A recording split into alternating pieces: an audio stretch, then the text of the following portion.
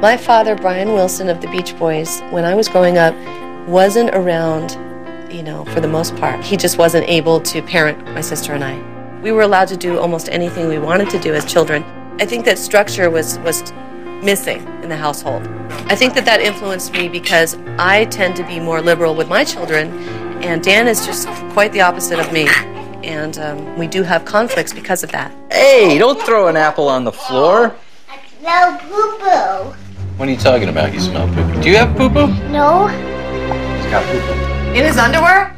Again? You got some poo poo in there, buddy. Before the babies arrived, I was resolved that Beau, our three year old, was gonna get potty trained. You gotta go poo poo on the potty. Oh my god. He refused. Now there's poo poo in the water. Usually when he hides behind that table, he's going poo. Yeah, I'm over this. Look at this cheeky monkey. He's sp- And then bedtime. I'd like to see Wendy be able to put them into bed and be able to come out and let them fall asleep on their own. Between 12 and 2 a.m., they make their way to our bedroom.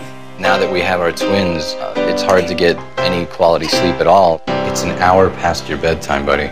In a couple of months, my sister and I have shows planned that we're going to do around the country. I'm just a little concerned about not being with my older kids for that amount of time because I've never done that before. How are you tonight? We've got some dates lined up, and